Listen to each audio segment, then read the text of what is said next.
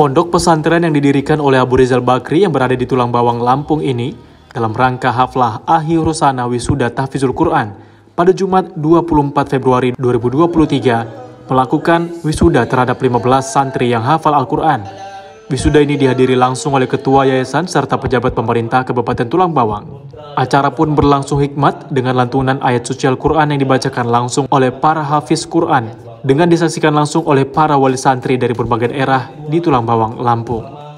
Sertifikat Hafiz Quran Pondok Pesantren Tahfiz Al-Bakri diberikan langsung oleh Haji Amandoris selaku Ketua Yayasan, mewakili Haji Abu Rizal Bakri selaku pendiri Pondok Pesantren Tahfiz Al-Bakri. Santri yang berprestasi juga mendapatkan penghargaan berupa piala dan uang dari Haji Abu Rizal Bakri sebagai apresiasi atas keberhasilan para santri yang menghafal Al-Quran. Hari ini kita baru saja mewisuda 15 santri yang hafal, yang hafiz juz ke-30 dari setelah 2 tahun mereka mengikuti pendidikan di Pondok Pesantren Tafsir Quran Al-Bakri yang didirikan oleh Pak Abu Rizal Bakri. Ini adalah bukti kepedulian beliau sebagai putra daerah terhadap uh, perkembangan uh, sumber daya manusia dari Menggala yang insya Allah pada 20 atau 30 tahun mendatang akan menjadi pemimpin-pemimpin di Indonesia yang Qurani. Pemda dan masyarakat Tulang Bawang sangat mengapresiasi dan berterima kasih.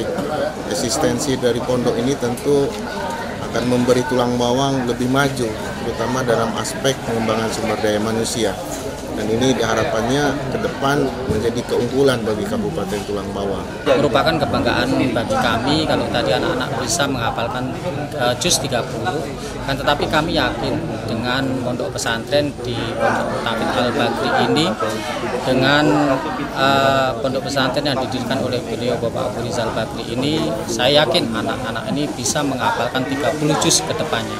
Insya seperti itu harapan kami. Dari Lampung, Tim Liputan B News TV. B News TV.